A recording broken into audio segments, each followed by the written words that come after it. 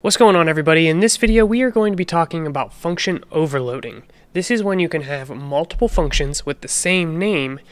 The way you choose which one to invoke is by what data you pass it. This video is sponsored by Visual Assist, which is a plugin for Visual Studio. If you've been following along using Visual Studio, I'd highly recommend you check out that plugin. I'll drop a link down below. This will enhance your C++, C, and C Sharp development experience. So for those of you who have been following along, you might be familiar with these functions, but these are three different functions.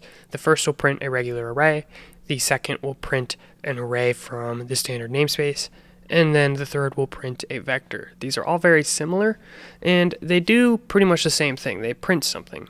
So we could actually name these all the same thing, such as print, but I'm actually going to be a little bit more specific here. I'll say print collection, um, implying collection being like an array, a vector, a deck, whatever it may be. So in this case, it's going to be these three collections, an array, a standard namespace array, and a vector. So this is actually going to work. We're not going to get any compiling errors initially, except from the calling code down here, which we need to update. So we can change this from print array to print collection, and the same for these as well.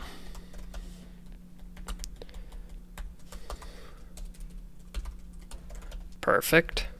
So let's run this. And you can see all of the printing works as expected. Well, which one to call it depends on the data we pass in. It's smart enough to know that this should be the first function, this should be the second function, and this should be that third function. This should basically be used when you have some repeating functionality that you might expect different inputs for. Now, in order for an overload to be valid, it has to have different parameters. So, what might be confusing at first is if I copy this and let's paste this, and inside of here, we will return true and change this from a void function to a bool function this is actually not a valid overload. And that's exactly what you'll see in this little error pop up. So that's just an important thing to know. I'm going to remove this as this is just for example's sake. Now you might look at these functions and realize, wow, the code between these is very similar.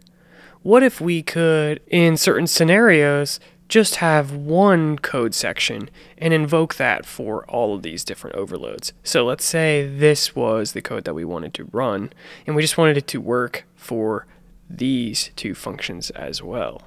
You can actually do that by invoking print collection inside of this function. So it might look like this, print collection, and which one is it going to run? Well, it's going to run the first one by passing in items but it has to be of type array. How is that going to work if it's currently a standard namespace array? Well, there is a method on this called data, and this will actually return the array data. So that is how we can convert to an old school array. And then we can also pass in items.size.